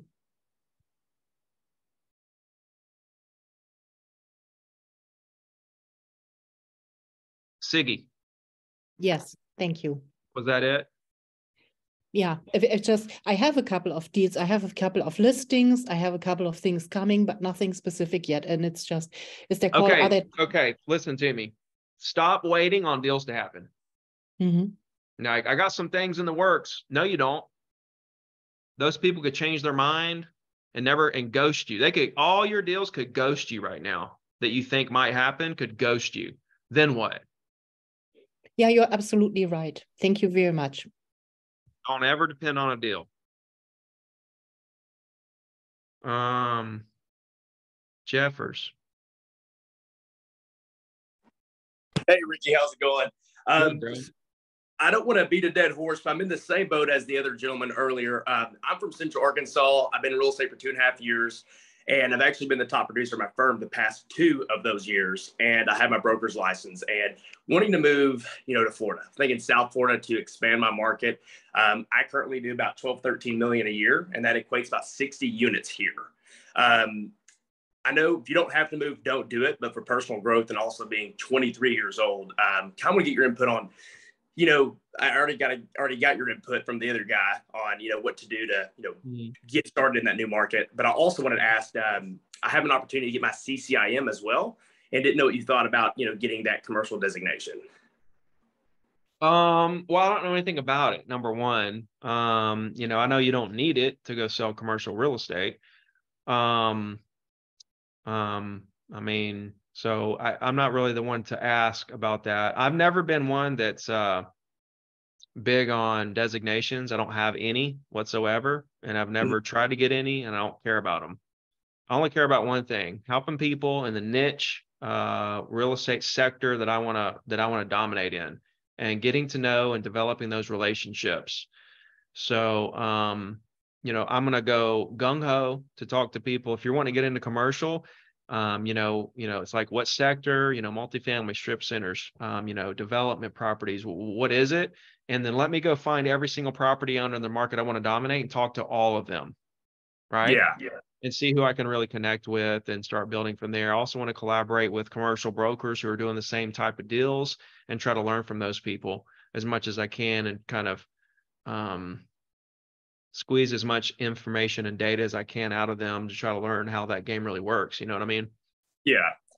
And yeah, and I guess and I guess what I'm trying to say is, you know, uh, you know, for two and a half years, and I feel like I do have a substantial amount of business. It's like a snowball, and I feel like if I don't leave now, you know, try to move into new market just for personal reasons as well, um, you know, get to a more lively area. I guess you'll say nothing bad about Central Arkansas, but um, you know, there's a couple different items wanted me to, you know, kind of grow in a new market. But um, my plan would be to have people here to handle my new constructions. I have a development here. I have uh, builders. I have rentals, my own flips, you know, but um, you know, moving down there, it is kind of scary, like you said, especially with a more saturated market. Um, saturated market doesn't mean anything at all. Um, it creates a lot of opportunity. So, you know, walking into a market saying, "Oh, it's saturated," you're you're shooting yourself in the foot right there with a really yeah. um, bad mindset or bad, you know, uh, perception, um, perspective on what what the situation is at hand right? Nobody has met you. Nobody has talked to you yet. Um you know it's going to come down to do they connect with you as a person? They don't i don't care about other agents right? Every single person on planet earth could be an agent and it, it wouldn't matter to me. Um you know so get that out of your head bro because yeah. you're it's kind of like you're kind of already giving yourself excuses right off the bat. Of course of course. Thank you. Yeah. Okay, let's speed this up just a tad. Uh, not too much. I don't want to, you know, get too crazy with you guys, but um, not like a lightning round or anything. But definitely, let's speed it up just a tad since we have so many people with their hands up, and you know how long we've been on here already. Robert. Yeah, just a couple quick questions. Uh, I know you preach that you don't not preach, but you, you state that you don't use a CRM. Um, and I know with uh, since going to EXP, they, they, the kvCORE is included. Are you still not using uh, a CRM? I know you're just big on the, the weekly emails and, and making phone well, calls. listen, man. The thing is, is why would I use a CRM? Right? What do I need it for? That this is this is my point exactly, ladies and gentlemen, right here. Well, because I know like, I, I, get crickets every time I ask the question. Right. Well, I know that. I mean, everybody like all once you become an agent, man, you're getting emails like crazy on CRM. I don't really care about all that. I'm asking you, what do I need a CRM for? Like practically, practically speaking. Automation. Again, what's that? Automation. To, What to- am I? to au- your What am I? What, what am I automating? I guess it'd be just your email campaigns, but I guess you set that up on constant. I, I I create it every week. That's why it wins. Okay. Right. When it when it's original content that I create out of my brain that week, um, based on either breaking news in the area or market data I want to share, I can't automate that, bro. Sure. And then I'm giving my two cents on that data to give them a little bit of Ricky within the email. That's the problem. We're sending out data, cold data with no opinions behind it. So they're getting that from like five different agents. If you want to stand out, you have to actually spend time on your content and give people real value behind the data, not just the data. And you can't do that automatically. You have to sit down and actually do it. But it takes me a whole whopping 15 minutes a week to do that right? And this is my baby. This is what allowed me to scale um, to where I was selling 100 properties a year, working five hours a week in my real estate business um, because of the weekly email and and and because it was original content every week as opposed to something automated. So let's go back to the question, right? You what do I need a. CRM for? You answered it 100%. So, you so, so you thought that you needed a CRM to automate emails? no, I just wanted to see what, no, no, no, no. Like, I just, what your opinion is of a CRM. I know, and I Yeah. was just curious if you, if you started using one since going with EXP because they provide it with your $89. Every every brokerage offers a CRM. Sure. Okay. every brokerage offers a CRM. The um I've said this before, you know, and listen, the people that use CRMs, like awesome. That's your thing. It's not my thing. That's your that that but that's your thing. That's great. I don't need to remember when their dog's birthday is. But while a lot of people are out there taking time to input data into their CRM, I'm close I'm out here closing deals Right. while they're Well, you- typing names into a CRM. Well, and I can, you, you can type notes and, and, and that kind of stuff into your MLS. What do I need the notes for, good sir? to Again, it's guess, more yeah. it's more crickets. I don't need notes. I don't Okay. need to know when their dog's birthday is. You know what I'm saying? Yeah. Yeah, I got you. That, uh, you answered my mean- question. Listen, dude, listen, listen. Here, here's what people are trying to do with that. They're trying to create a situation where they can personalize the the the the conversations, right? Like if I remember that their daughter was going to graduate in like 10 months, I can call and congratulate that at that point, right? Um and that's a great way to build your business by the way. To like personalize life events and send get like that is that's awesome. It there honestly it's one of the best ways to do it. But I couldn't scale that. It wasn't scalable for me. So Mm. how did I give people the warm and fuzzies without doing any of that? And it's literally one word, tone. Just the way that I talk to them like they're my mom, dad, brother, cousin. They had that feeling like, wow. And then like I would jump right on whatever it was they needed, you know, like handled whatever the situation was like they're my mom.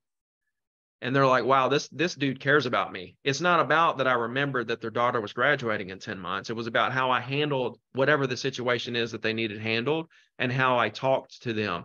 In in in, in this you know not caring if i get a deal attitude right literally just trying to learn more about them so the fact of my genuine curiosity ixnays on the fact that I might need a CRM to remember the dog's birthday because now it's all about for me how I talk to them like they're my parents or something. You know what I mean? That's Sure. what gives them the warm and fuzzies that a lot of people try to a lot of people try to uh, personalize the conversation around events that might happen in the future and I'm trying to personalize the situation based on the way that I talk to them just just as if they're my family. And so, Yeah. guess what? My way allows me to scale faster because now I'm not having to remember all this stuff. I can just talk to people like they're my mom or dad, and it does the same thing. Super efficient, super scalable. Think about the way that I operate, guys. Weekly email, boom, scale it to the moon, dude. You can have like 50,000 people on an email. You're still only spending 15 minutes a week to touch everybody. All right. Fair enough, man. Fair Cool. enough. Um, and then yeah, just I know I know you're trying to get it get it going quick here. You said the no designations. Uh, so I live near Coast Guard uh, uh, station in in uh, national like a um uh, National Guard base with a lot of people moving around, and they get a lot of government government funded moves, transfers, and stuff like that. And I, I had a client that that they basically went with a, an agent that had a designation um, for for government um, yeah. transfer stuff like that.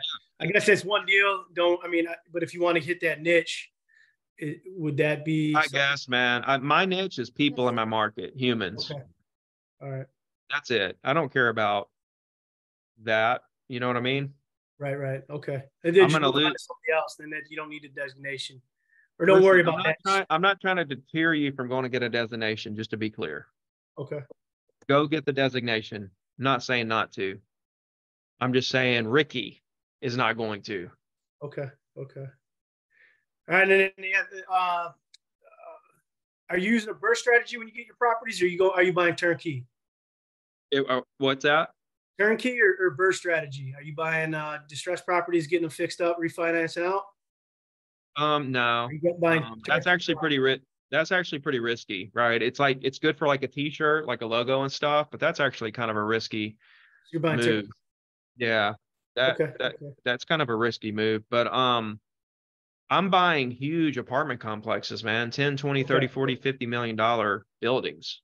So you're not buying. Okay. So that's a single family deal. Okay. Yeah. And then right, last question. uh, As far as your, uh, if you're going to syndicate, are you looking for only accredited investors or are you going to be uh, putting out to, to everybody? I can real I can really kind of go either way, or I can go both, honestly. Um, but I don't I haven't really made a decision. I'm still mulling that over in my mind, you know, um, of how I want to play it out. You know, I, I may go strictly accredited, or I may, you know, do both. I, I hadn't really decided that, honestly.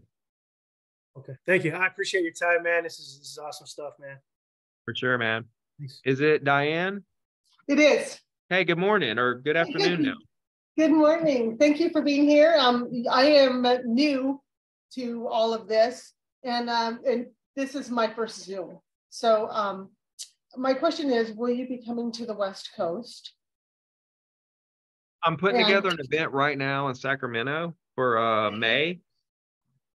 So um yeah, I'm, I'm it's pretty much locked in. I'm just kind of working out the details and stuff. So yes.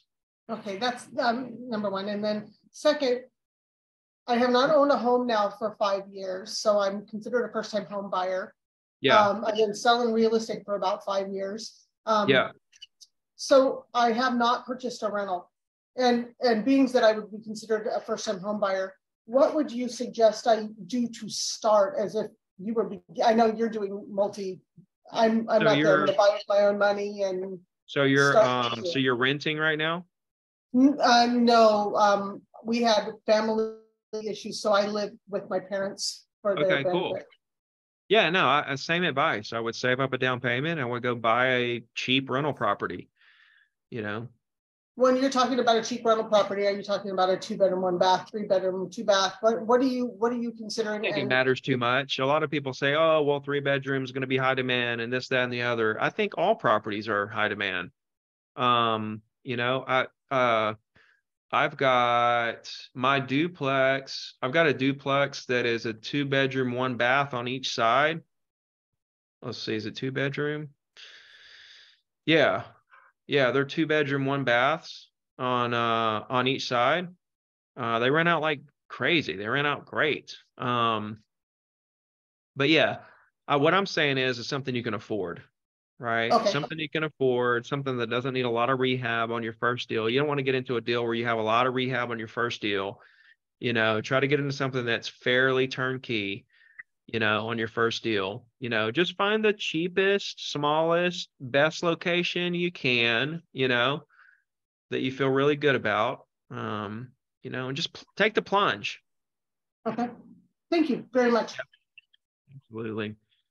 Okay, iPhone SE, second generation.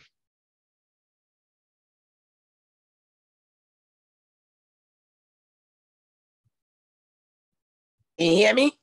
Yeah. Hi, I'm Trinice from New York. How are you, Long Island? Oh, doing just super well, super well. Good to see you. I uh, joined your your your service about three months ago. I'm a little nervous. okay. But uh, thank you so much. Yes, again, you have changed. Even though I've only been a realtor for about three months, I did sell one house so far. So that's good. And I got a question and a comment. So I see you're using um, constant contacts for weekly emails. So I'm mm-hmm. doing that every Wednesday as well. Yeah. But I'm also want to set up the text messages because um, you know, some people don't want to give out their emails. They say just stay in contact with my phone number. Yeah. So I see that you, because you send me text messages too, I see that you're using community.com. So right. is that where I set up for text messages? Yeah, absolutely. You can absolutely use uh, community for that because now they have a feature. I haven't used it, but now they have a feature where you can actually input the uh, numbers. It used to be that they you had to um, they had to subscribe basically text you and have their info, but now they have where you can input numbers. Now I don't know what the process is there if they at that point have to agree to something at that point. I'm sure they do. But yeah, I mean Constant Contacts also has it. You know, they also have the uh, texting feature. That's kind of what I've been um, that's kind of what I've been kind of pushing is you're already using constant contact for um, for the email, you know, just add the the uh, SMS, you know, constant contact. That's why it's all on one platform. You can just text out the weekly email as well. Right, right. I uh I did I added that service on for it's like like ten dollars a month extra for like five hundred um text messages sent out. Mm-hmm. However, I work through a brokerage, um, leading edge real estate services in Babylon, New York. Mm-hmm. Um, they want you to ask your employer, well, the brokerage for the EIN number, and then also something like uh, their information for their tax yeah. forms. Your brokers don't want to give out. So I wanted to know how do you do that? I think you can use your own LLC though as well. Okay. You know, so if you have an LLC for your business, you can use that EIN and then use all your own um, you know tax information and all that stuff you should have an L you should have an llc that's an s corp anyway s corp anyway you know for your real estate business i mean you should have that anyway that's going to protect you on social security taxes and um, you know as you grow your business you're going to want everything to be in through the llc anyway so something you want to do but that's yeah that's that's what i would do go ahead and set up an llc and kind of work it through there okay great and then also um, I know you get your numbers through REDX, right? And like I said, I'm a real new realtor, so basically broke pockets here. okay, um, well, I let me. Yeah, let, go ahead. I found that you can actually get free numbers and address information right through your MLS in New York through a service called Remine. Okay.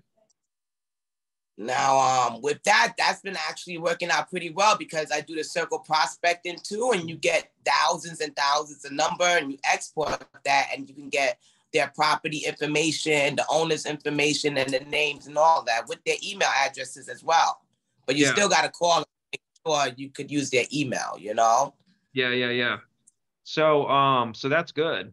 Um, definitely use that, right? Um, but um, somebody said something earlier about, oh, you know, it's going to cost 4000 a year for REDX and a Webinate or something like that. And um, listen, here's the thing, right? Um, you know, if you don't have money, right? Let me tell you something. Okay. Door knock for sale by owners, social media, open houses, networking events, sphere of influence, meeting people in public. The list goes on and on and on here of free ways to go out and build your business right. completely free. And so people are like, "Oh, I don't have money for the." Okay, are you knocking on doors? Right? Like if you pay for REDX, that's not going to magically turn you into a ambitiously hard worker, and you're going to start go prospecting and stuff. It's not. Mm-hmm. Um. So anyway, just wanted to add one last thing. You're totally right. Um, I started with one contact for my weekly email about what two months ago, and now I'm up to almost over a hundred people that said, "Yeah, we can keep in contact." You know, just in case we want to do something. So I cold call every almost every single day, about yeah. two to three hours a day, and the list just keeps building. So I just want to say thank you very much.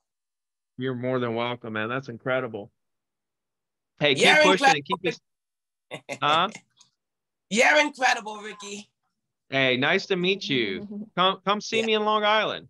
You coming to coming to the event? Yeah, February 19th. I saw it already. Okay. Get you a ticket and come see me. Definitely will. Thank you so Right. much. Have a great day. And what can. I do for you today? Um, just go out there and crush it, honestly. Just go out there and keep being you and keep making them calls and keep building that business. Thank you. You're welcome. Okay, guys, I really got to go in like just a second. I still, so we got, I don't know, 15 hands up or so. Um, let's do some serious lightning round type situation if I want to hit everybody. So, Travis, go ahead. Just a quick pop. Uh, just real quick, I was going to add, you mentioned about the texting. Uh, a lot of agents I know they sleep on this. WhatsApp is a great free platform for texting because you could do status updates on WhatsApp. Yeah. I've been in the business for 23 years. I met in Connecticut last year. Uh, I don't know if you remember, but I was telling you my whole platform was texting, email.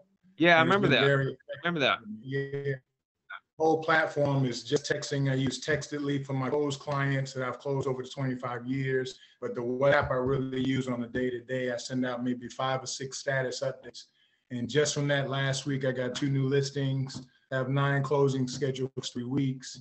And uh, WhatsApp, man, it's really, really effective because a lot of internationals use WhatsApp for international free phone calls and texting.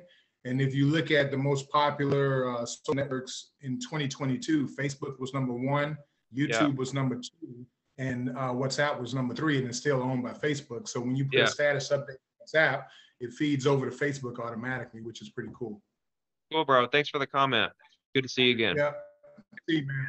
You're gonna be in. Uh, I'm, I'm, I'm sorry. I'm sorry. I muted you, man. I muted you. Go ahead and come back. no, no. January is Long Island for you. Yeah. January 19th. Yeah. I'll be there. Yeah. Cool. Very Thank you, bro. Thank you for the support. Hassan. What's up, Ricky? Hassan. What's up, bro? Uh, just a quick question, man. Um, you know, I'm licensed in Jersey and I got my license in Florida as well. Uh, doing pretty well for myself. I finally I left the team going on by myself. So I've been six months doing a lot of calls, a lot of follow-ups going to this year. Uh, my thing is, you know, my brokerage lets me have the New Jersey and Florida. And for me, I'm really trying to hit like a couple of deals in Florida. What would be your best way of how to designate your work from obviously my main business, Jersey, and then Florida too? Uh, what are you doing in Florida? You're, you live in Jersey. Mhm. So what are you doing? If are you, do you go there every six months? Yeah, I could. Yeah, I travel there every once in a while. Yeah. I think I would have one market that I that I just absolutely is my like uh primary market that I crush. Mhm. And then I wouldn't really mess with the other market. I would just kind of take whatever comes my way in the other market. Yeah. Yeah. Yeah. so I would I- decide it- which I would decide which market is my primary that I really want to crush and focus 100% on, and then you just kind of you're just open to do deals in the other market. You know, like Yeah, you're- yeah, you're that's what I've been open, you doing. know, You might talk to a few people here or there, and you're kind of open to do deals, or if somebody wants to move from Jersey to Florida, or whatever the mm-hmm. case may be. But that's what I would do. I wouldn't really. Yeah. I wouldn't really delegate like time block. Okay, I'm going to spend Tuesday on Florida, Wednesday on New Jersey. I would, you know, focus on one market. Jersey, yeah, because that's what because me just doing a lot of cold calls la- uh, last year. What I found is like obviously Jersey to Florida, there's a you know mm-hmm. big retiree market. So me just getting on the phone, having just talking to people, usually lands in like, okay, I'm moving to Florida. So it mm-hmm. kind of like starts to like I have family moving down there as well. So it's kind of like deals that are just coming little by little. So uh, yeah, I think that makes sense. Yeah, Hey, thanks for the question, bro. yeah. Thanks, boss. All right. All right. Okay, Stanley. And let's let's do it like literally like question answer, question answer. Very quickly, I said a few uh, months ago. Um, I'm about to start doing cold call a few hours a day, and my biggest fear is listening presentation uh, because I don't have any. So that's um, my question here on that. And before you answer this, though, I know you joined EXP. Uh, you've been amazing. You don't promote yourself. Everything you said, you don't uh, do any promotion about anything, try to sell anyone. Tell us about you joining EXP tell us how people can join you and how to improve what you are doing currently because you've been amazing, man. And um, yeah, I'd love to hear you talk about you at EXP and how people can join you with EXP. It's not really a focus of mine as far as growing. That's why you guys don't see me talking about it on social and stuff like that. I'm more focused on helping as many agents as possible and getting into the um, syndication business and buying these big apartment complexes and stuff like that. Um, but I do spend a lot of time with my group. That's you know part of my EXP organization, and we do coaching calls, a lot of one-on-ones, a lot of group stuff, and I pour in uh, pour into that group as much as possible, um, and and some. Right. So that's pretty much it in a nutshell. Anybody that's interested in that, like I say, I don't talk about it, and I'm not, you know, because recruiting is really at the bottom of my list. Um, but if somebody's interested in joining me on that platform, I'm more than happy to have the conversation, you know, with someone that can message me on Instagram or whatever. I'm happy to connect. Was that it, Stanley? Oh, and oh, my question about listing. Listing presentation, man. Like, I want to know why they're selling. I want to know, um, uh, you know, it, you know, if they have an agent and all this stuff. But when I go to the listing appointment, it's really focused more on them and why they're selling. And I try to, I don't have a presentation, bro, because if I showed it, if my mom was trying to sell her property, then, um, you know, I wouldn't give, I wouldn't show her a listing presentation. Oh, well, these people need convincing you're the agent to go with. Yeah, well, showing them with a, a presentation and a horse and pony show, um, which is what the next agent's going to show them as well, is not going to be the way to win them over. The way to win them over is talking to them like they're your family. Um, and then understanding why they're trying to sell and really relate on that. But in, in my folder that I bring, I just bring a uh, of the comps, a listing agreement, a gift card to a restaurant. That's it. Uh, I'm just trying to have a conversation with them. And then once I understand why they're selling, then that gives me the direction I need to go in with my comps to help them price the property accordingly. Um, and, and again, why they're selling factors into how I'm going to price the property. Um, once I have all that data and I can sit down and really map out a plan of how they're going to accomplish what they're going to accomplish, that's my listing presentation, right? Mapping out that custom built plan based on why they want to sell, right? So it's just about treating them like family, dude. I don't have a presentation if that's what you're looking for. You might have to go to one of those paid coaches or um, you know old school you know brokers or something for that i appreciate your answer thank you is it renata renata Oh, hi. Um, good after morning here in, in Vancouver, BC, Canada. Um, okay. Yes, I've been um, a realtor for the past 13 years and um, it, has been super easy. I've had lots of referrals coming to me. They're just to help people and give them information, and it's never really felt like a struggle. This year has been a lot different, uh, whereas, you know, I've made the phone calls, I've sent out the emails, and it's just things just didn't seem to come together. So, based on that, maybe top three things to do to get back on track. Um, you say you're making the calls, you did the postcards, you did all this, did all that, and it's not working. Uh, I mean, I could do them more, but um, in terms of uh, phone calls and um, newsletters and just communicating with past mm-hmm. clients, those things. So it's got to be something different because, like you said, you've got into a slump yeah. before I am. I think, I think, I think what it is is that it's not that you know because because conversations are the only thing that leads to closings.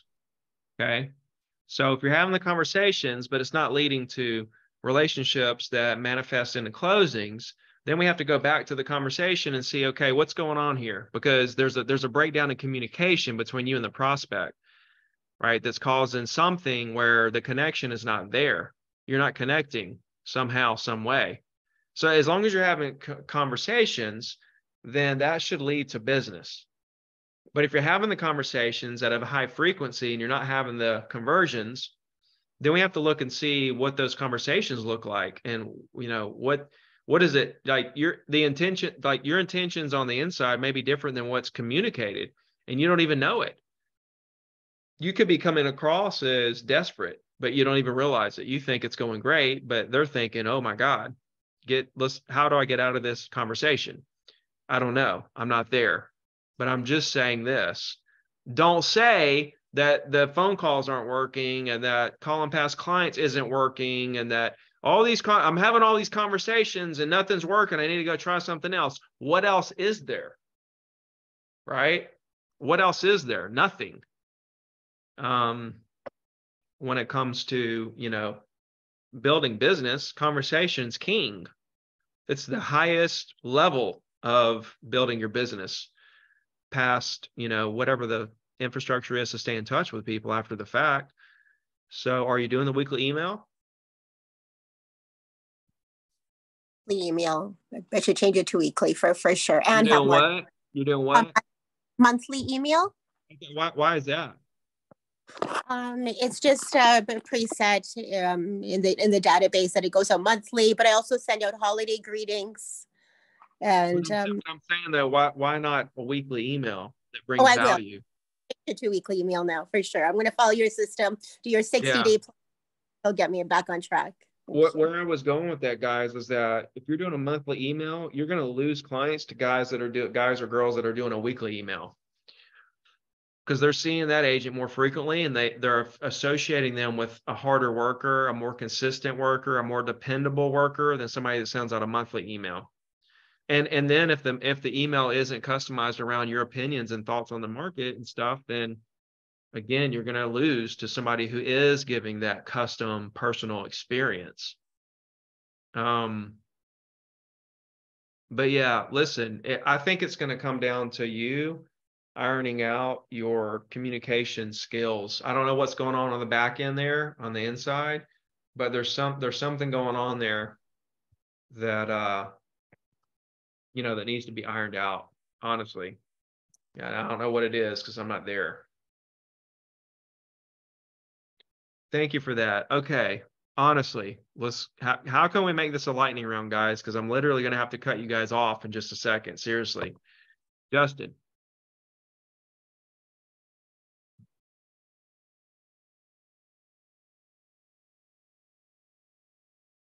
He's Okay. muted. Josh. Ricky. Hey, uh, hey, uh, hey, Rick, man. Uh, some more of your investor content. Uh, uh, are you planning to uh bring that to uh the Zero to Diamond platform this year? I don't know. I thought about uh, making a course on it in the courses section, but I hadn't Oh, really please fully. do, dude. Please do, dude. Like I'm crushing it out here with the investors, dude. Like we need some more uh content like that, bro. Yeah. Well, that's why I'm I'm opening the conversation, you know, on these platforms and in these forums. So I'm definitely going to be pushing the conversation. I don't know if I want to make like a course around it, um, but I might. I haven't fully decided. But thank you for the uh, push. Uh, Sylvia or Justin, did you figure out your mute? There we go. So five new people a day. I'm walking around from my my office talking to people. What's the best simple script for everybody to get their email? Tell them I can. I've got a weekly email for real estate and mortgage. How would I? How would I get that conversation going? I don't know, man. I think it's uh like everybody wants a magic script that's going to give them the confidence to go up to somebody and talk to them. And honestly, it's just you need to start just going up to people and talking to them, right? And, and one thing like uh like I heard a strategy one time. It was like um give a compliment and ask a question, right? I like your shoes. Where'd you get them? Right? Oh, those are nice shoes. Where'd you get them? Um, give a nice compliment, ask a question is a nice little conversation starter, you know, like in public and stuff like that. I thought that was really sharp.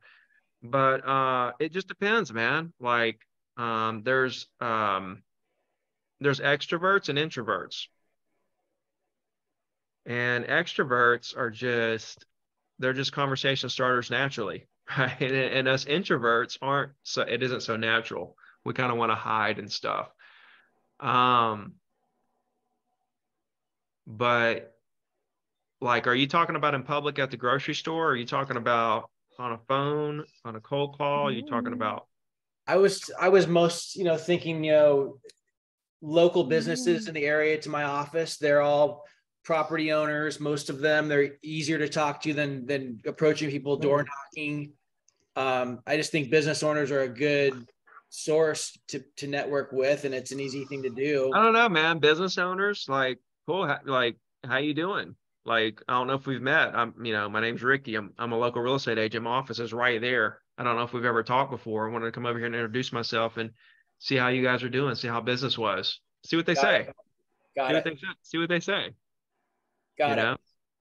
If they're business people, then they're going to get in. They're going to engage into that conversation with you, right? And then and then you know, um, you go back and forth, and they're going to. Those are easy emails to get business people because they they want to do business, right? They're business people.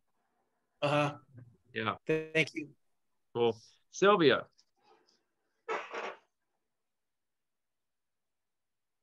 You there? Sylvia. Can't hear you. Hello? Can't hear you. Can't hear you. I don't know why.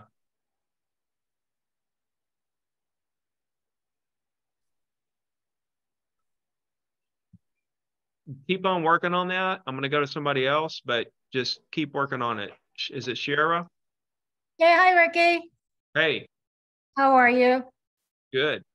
Good. Thank you so much for your knowledge, first of all. And I could see that you're really like done, so I don't want to take too much of your time, but your opinion is very important to me and your advice. Um, I bought a property, an investment property in 2011, and I'm renting it out. In January of this year, I was thinking of pulling out the cash and because I have a full equity in it, 100%, and buying a second property. Uh huh. Interest was very low. Prices were very high. Uh-huh. I depend on some of the income. So the last minute, I kind of changed my mind. Okay. And I'm kind of regretting it a little bit. What they were only going to give me 65% of my equity. So I wasn't sure if I can purchase anything and I didn't want to hold on to all the money. Uh huh. What are you thinking? Like, what do you think right now? I'm thinking of getting out of my comfort zone to grow. What would you do? Would you still go for it with Well, interest rate being well when you take out 65%, the rent on the property is going to still cash flow the property even with the 65% taken out, right? With the new debt. So the rent was gonna cover the more, uh, the payments, yes. Yeah. Actually, I was gonna have still a little bit more left, but now with interest rate being higher, I think it's gonna probably cover. And Mhm. looking at the chart that you put up Okay, well, earlier, just for the sake of time here, um, like generally speaking, you know, you can take that money's tax free when you take it out.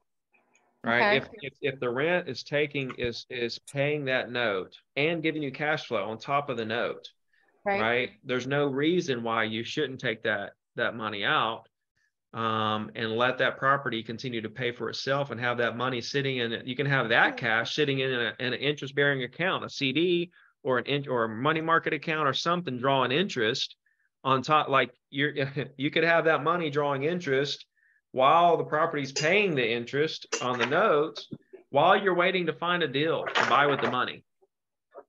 So your advice is go for it right now too. I would. I mean, I mean, you know, you can always wait and find the property and then, you know, refi at the same time as you're buying the property. You can always do that. I mean, chances are really high, as we've talked about, that um, interest rates are going to come down, you know? Um, so I feel really strongly about that. So, you know, you can bide some time right now while you're kind of trying to look for a property, but I wouldn't wait too long. Right, because the property value is probably starting to go Yeah. down, so my best bet is right now. I got you. Um, the only reason, to be honest, that I kind of like was a little nervous is because I do depend on some of the income that comes in for myself. I understand. You Well, maybe that'll maybe that'll help you. Mm-hmm. All right. Yeah. But if you Okay. need guys, and if I don't answer something, like feel free to hit me on Instagram. You guys know I answer all my questions there. Caleb, literally, you got five seconds. Ricky, REDX. I did it a month ago. Can you hear me? Yeah. Um, so I'm the land broker up here in the upstate of South Carolina. mm-hmm. and you pushed me to do it. I put it on an Excel sheet, put it in. 95% of these people I've already talked to, but they're on the do not call list. What's your thoughts? Well, you know, like generally speaking, you know, ask your lawyer. I'm not going to give legal advice and all that stuff. All I can say is, is that I call them. Okay, because I know that I've already talked to him, and I'm just I already have an established relationship. But REDX says it's do not call, so I didn't know if they flag your file or what. No, nothing happens. Okay, thank you, Daniel. Hey Ricky, uh, real quick. So going back to what you said on that CRM, that um, you don't follow up with with people, you know, finding out when their dog's birthday is, and stuff stuff like that. Yeah. Um, yeah. So when when you're putting your weekly email, you're pretty much just doing that to the point where you want these people to contact you when they're ready, not so yeah. much to follow up in yeah. six months or half the time. Exactly. I want to create a machine that just produces, just spits out people that are ready to buy and sell. People used to say, okay. "Why are you why are you putting all the closed sales on the on the weekly email? You know, don't you want them to have to contact you for that?" I'm like, "No, I want them to contact me when when they're ready to buy or sell something." Gotcha. Yeah, because I'm using Follow Up Boss and YLocal, and I send seller alerts uh, for valuations yep. every month. You, do, you can do that also, through your MLS. You can do uh, you can set up automatic uh, emails to go out through MLS uh, properties in their subdivision. Yeah, but what YLocal does is it, it it tracks every single analytics, how, how many times they open it, um, how many times they're coming back. How many so, times they open it? How many times that? What are you going to do with that data? I feel like it kind of rises the cream to the top. I mean, you see people more active that are ready to transact now. You're going to see, you're going to know who to call. I think that's a good marketing day-to-day. tactic for YLocal. I mean, listen, I think that's a good marketing pitch for YLocal. oh, you're good to see data, you know, so buyer services. Listen, data is king. I love data, right? Um, that's useless. I mean, all data is useful to a certain point.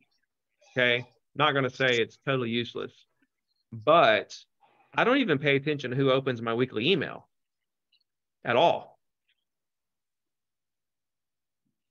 I don't really care. They're going to call me when they're ready to do something. Until then, bro, I'm going to be following up with people that have been calling me ready to do something. I'm too busy showing property, going to listing appointments, negotiating deals, to look and see who opened up their YLocal report and then maybe they're hot because they open they are they're opening it frequently maybe they're just really interested in what's going on they're not really interested in doing anything they just want to see data okay so in that sense when you're doing your weeklies do you send out any video content out there to just to, so people can build rapport with you visually see you rather than just a text i don't um you can do that on social media and stuff I like just images and uh, and text on the email personally.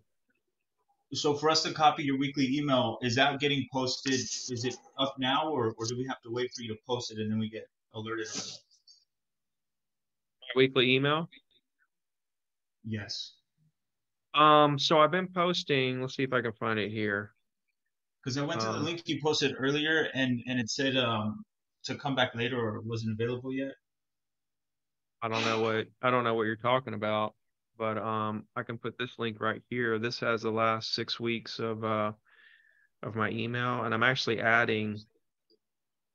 I'm actually adding it every week, so I'm hoping right here on this link that I can just like add every week and eventually have like you know 50, 60 weeks worth of the email that people can go and look at. And that link right there. There's six of them now, and I'll add it every. I'll add one every week when I do them. I'll add the link there Okay. Appreciate it, Ricky. Thank you so mm-hmm. much for your time. Happy New Year. And all I can say is everything that you post on social media, it's super high motivating to me because as markets change, it creates doubt. Even for anybody that's been in the business for years, um, when you say when you go up there and you say stuff, I, I just want to say it's very valuable to me and it, it means a lot. And I'm sure the rest of the group can agree with with that. I appreciate that, bro. Happy New Year. Clay. Hey Ricky, thanks for everything. Um, my struggle is I make I'll make the calls, right? It's then I feel like I need to follow up with them again on the phone to build more rapport. Okay. That's the I think that has um, hurt me a bit. I'm not doing the weekly email. That I see is going to be incredibly valuable. So, so you would so you would you would call them to follow up, but you won't do weekly emails. So you want to do something that's totally not scalable, but not do something that is 100% scalable. Yeah, the weekly email needs to happen. I've got them on some other emails, but that needs to happen. Period. Okay. Uh, second thing, your past clients. Do you try to call them once, twice a year? Because uh, I think that's like you said, the referral business huge. Yeah, if you can. And I'm not, I'm not, I'm not begging guys for referrals. They'll right. send me no, referrals. just natural. I'm not. Yeah, I mean, they get my weekly email. Like, I don't know what else. Like, it does all the heavy lifting for you. You know what I mean? Put your faith in it. You know, um, and it's not going to get everybody, but it's going to create a situation where if you listen, guys, if you go all in on the on the scalable activities, then your business will scale. Yeah. Um, but um, you know, like the weekly email is going to continue those relationships. If I'm spending time on my email to make it very personable, mm-hmm. really show them who I am through that email, it's going to do its job where I don't have to call people all the time and check on them and stuff. They'll call me when they're ready to buy or sell. Yeah, I love that. And that's actually and maybe and maybe they'll go use another agent. That's fine. No, there's no system, guys, that's going to capture 100% of everybody. Yeah. So then you have to think, okay, what system do I want to put in place that's going to give me the highest percentage possible? Yeah, and the one thing I uh, at least I remember seeing a couple times on your weekly email that you sent out just for us to take a look at is at that bottom, like you said, uh, call me today or whenever I can help you buy or sell. It's just like when you're ready, I'm ready. And then I guess that's kind of sealing. I'll continue to be here every week until that time comes. Thank you. Bro. Thank you, bro. Uh, is it Daniel? Or did we already see Daniel? Daniel's already been gone, right? Daniel's gone. Let's see. Jonathan. Hey Ricky. So real quick, where do you get your information for your weekly emails, like your stats and stuff and all that stuff? for MLS.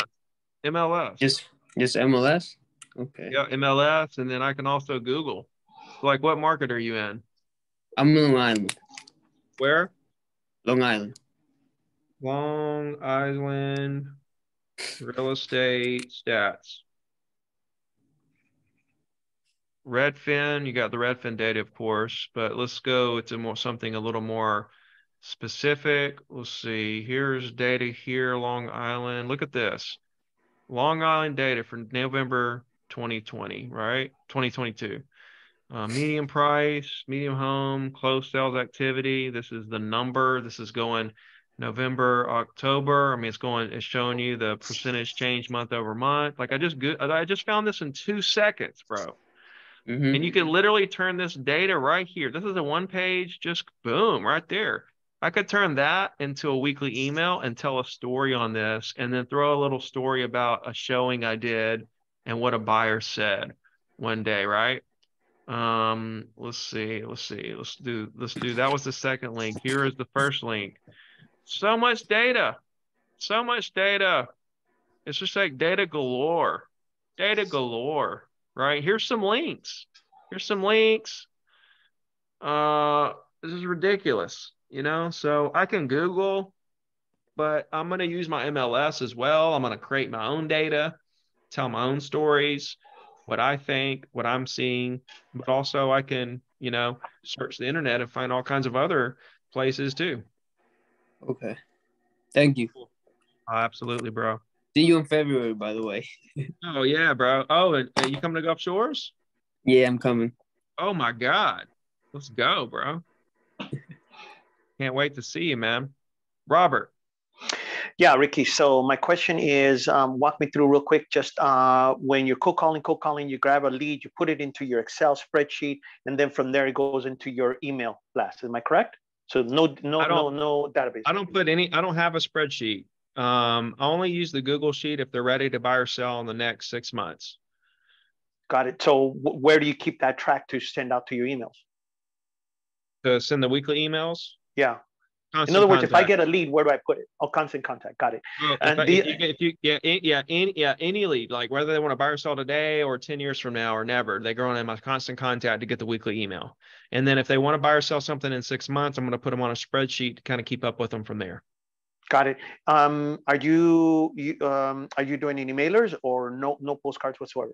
I used to. I used to spend five G's a month on uh, postcards, but it really wasn't a high ROI compared to the weekly email. So, right at, at that, you know, once the email started to produce like 98% of my business, I was like, I'm not going to spend five grand a month to, you know, on the 2% of my business that I get. You know, it wasn't, you know, and the weekly email cost me, you know, nothing basically to send versus five grand a month. You know, it just yeah, didn't make sense anymore that's where I'm at. That I'm teetering whether just to drop the postcards or not. Um, digital, man. E- listen, email, Facebook, Instagram. You know, go digital. Got it, brother. Thank you very much, man. Have a great day. Right. Sylvia, stand by one second. I got to change my battery out here. Hold on one second.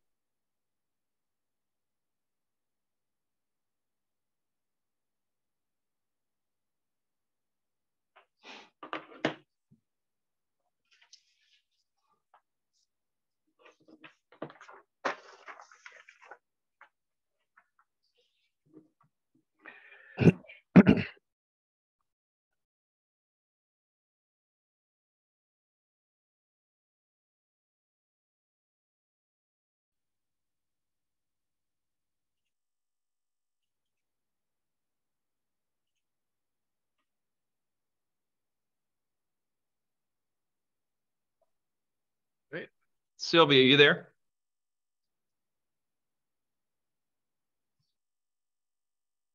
Robert. Yeah.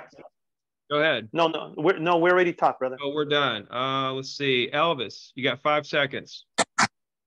Hey, brother. So um, I went through a struggle last year trying to figure out, you know, what to say, how to say it, sales skills, and build all that.